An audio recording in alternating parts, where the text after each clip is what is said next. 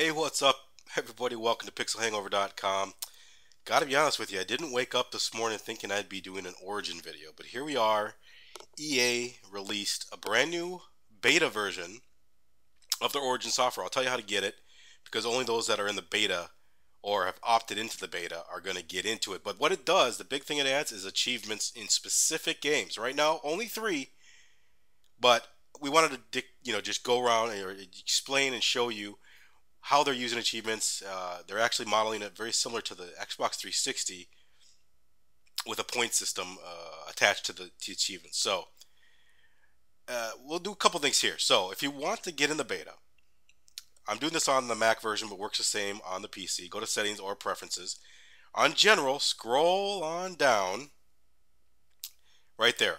Origin beta participation. You want to click that, meaning any future betas you want to get in. So you check that on, quit Origin, restart, it'll it'll update, and then you have to relog in. But that's how you get into the beta. All right. We wanted to at least explain that. So we move forward. First thing you're going to notice right here is right underneath your name. There's my uh, gamer tag. Right under is Origin points. I think I had 80 when I started this video, and uh, later on I'll show you what the actual achievements look like. So when you scroll past your friends here and stuff on your profiles where you see uh, I, right now I have two games in my Origin library and it's really cool it's retro so I didn't I haven't played Battlefield 3 since I updated but it says hey you've earned three achievements. Uh, should be a lot more but I play most of my uh, sadly most of my Battlefield uh, 3 on the console but I might actually play more now. So for achievement horrors here you go. So this is when you click into the game. It breaks it down pretty nicely. It actually breaks it down by uh, the main game, and then if, it, if any DLCs have it, it tells you how much they're worth and how many achievements for each one of the DLC packs. Now, the thing that's interesting about Battlefield 3 is there's there's no achievements for the single player like there are on the console. So I thought that was interesting. It's just multiplayer.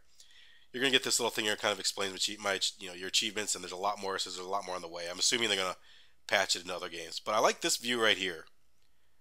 You can actually see the two games that I have, and down the bottom, Dead Space 3 is the third game that you can get right now that has achievements. But I just really like this view. It seems like a really cool, slick view. Um, so they call them origin points. You can see there I have 80 of 2,450 possible ones. Uh, definitely haven't played a lot uh, on Origin. And I'm doing this on my Mac just because it's easier for, easier for me to record. But uh, well, we'll jump over to my PC and we'll play a game of Mass Effect so you can hear the sound that it makes and also see what it looks like in game. Because those are the two other areas that I think people are, are curious about.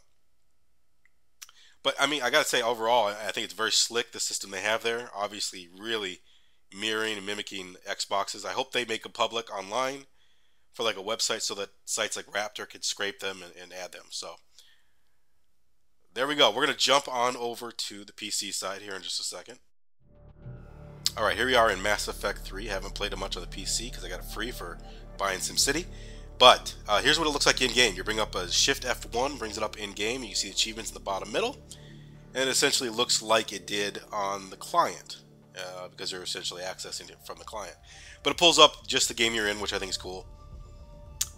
And uh, so forth. So that's pretty slick, nice, and nice and easy. So wanted to show that off. And here's an achievement noise. Listen for it. Here we go.